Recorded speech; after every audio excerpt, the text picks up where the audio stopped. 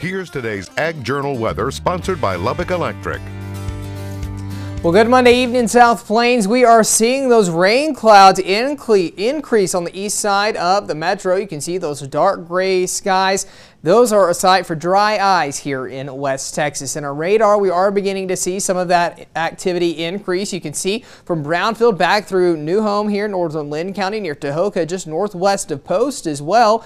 Should see some of that move into the Lubbock Metro within the next 15 to 20 minutes as well. Over southern areas is where we've seen the most amount of lightning strikes here this evening. Not looking like a lot of those going on recently, but Brownfield, some light to moderate rainfall moving into your area. Now, Clovis, you're seeing a few lightning strikes strikes there. Back up towards northern portions of Curry County, northwestern Parmer County, seeing some of that as well. Portales, we've got a few more showers headed your way along Highway 70, but by 8, 9 o'clock this evening, we should be mostly dry in Lubbock. It's not until 9 to 10 o'clock we start to see those showers move back in. Those will linger with us through midnight, and some heavier rainfall is expected off the Caprock over the rolling plains before 3 a.m. Now, in regard to how much rainfall we could see some of our northwestern areas seeing, uh, at least according to this particular model, model up to about a quarter of an inch. The same story off the Caprock over the rolling plains. I do think where we see some of these heavier downpours with some of these showers and storms develop, we can maybe see a quarter up to a half of an inch of rainfall. So that certainly would be great news considering drought conditions are still pretty bad out there.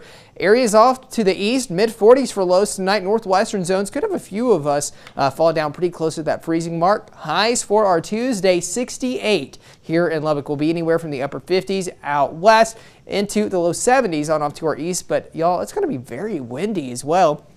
73 in Paducah, again 68 in Lubbock, 64 in Seminole, 59 in Dora, 56 up in Clovis. These counties in pink on your screen, that's where we have a high wind warning in effect through 6 p.m. Central Time tomorrow evening. These tan shaded counties, mainly along into the south of the Highway 6282 corridor, under a wind advisory through around 6 p.m. Central Time tomorrow evening. In the advisory, gusts as high as 50 to 55 miles per hour are expected, and in the warning, we're talking wind gusts 65, maybe even as high as 70 miles per hour. So as we go throughout the morning hours tomorrow, going to be very windy. Dust really begins to pick up tomorrow afternoon into the evening hours. But by 6, 7 o'clock, it looks like those winds will fall back below that uh, high wind warning threshold. So 70 mile per hour winds possible for these areas in red, areas in orange. Peak gust around 50 to 60 miles per hour are expected. And this lightest shade there is where we're expecting the calmest winds of only 40 to 50 mile per hour gusts. Now, by the time Wednesday rolls around, we're tracking yet another cold front to move into the area. This could bring